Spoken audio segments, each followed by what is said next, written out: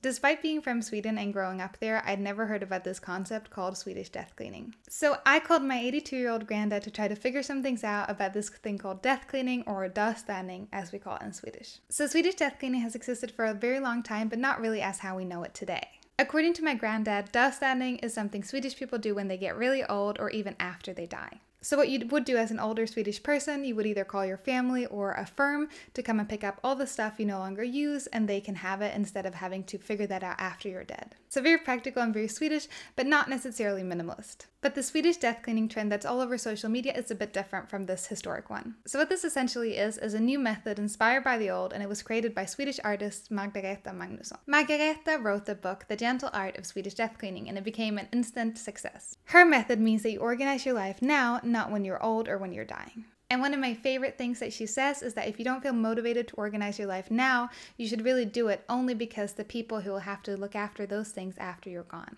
And this really is such a realistic and truthful motivator for minimalism and not keeping stuff you don't need because at the end, someone will have to deal with it. So, how do you do this Swedish death cleaning? Well, Margareta says she always starts by asking herself, Will this item make me or someone else happy? So, it's very similar to the KonMari method created by Marie Kondo.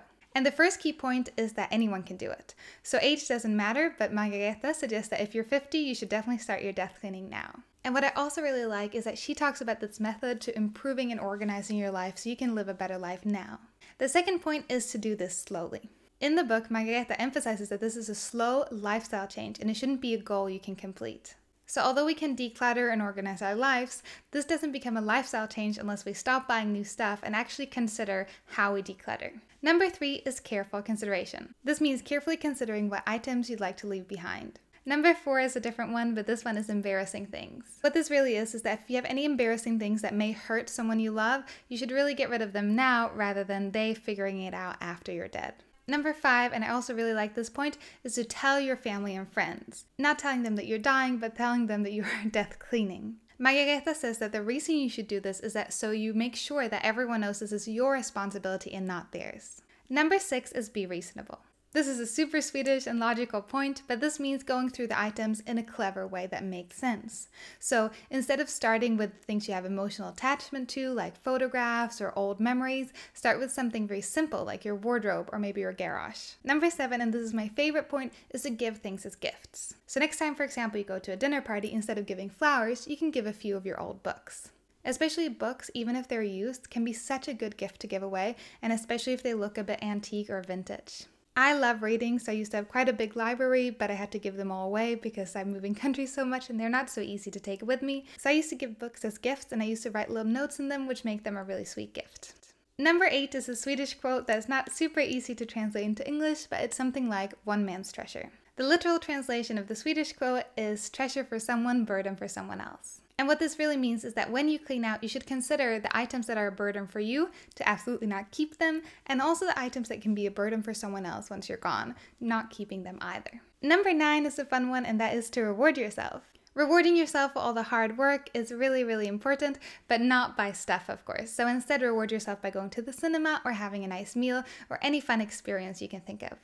So, Swedish death cleaning or minimalism? I'm not sure what this is, but I really, really like the idea of the new Swedish death cleaning. I know firsthand how difficult it is cleaning out the apartment or the space of someone you loved and going through all their things. It can really be heartbreaking. So I really love the idea of people taking responsibility for their items and belongings before they're dead. And taking responsibility for your stuff and death cleaning and organizing is also the best reminder of impermanence. And impermanence is such an important thing to learn and it's something really important to consider because it really helps us with our happiness and how to understand the world. So, no matter your age, I think you can start your death cleaning today. I know I've definitely started, and it's very fun to know all the things you have and not have anything in storage and things you don't know where they are, but having everything in order. This was such a fun video to make. Thank you so much for watching and thank you to the subscriber who suggested this video. I love making a video about something that's so close to my heart because I am Swedish, but I rarely talk about my cultural heritage and I really, really enjoy it. It was also very fun to get to call my granddad, who didn't understand at all why anyone would be interested in the Swedish death cleaning. I'd love to hear your thoughts, what you think about this concept of Swedish death cleaning, so please leave them down below. And don't forget to subscribe because it really helps the channel. Thank you so much for watching, and I hope you enjoyed this video, and I will see you next week. Bye bye!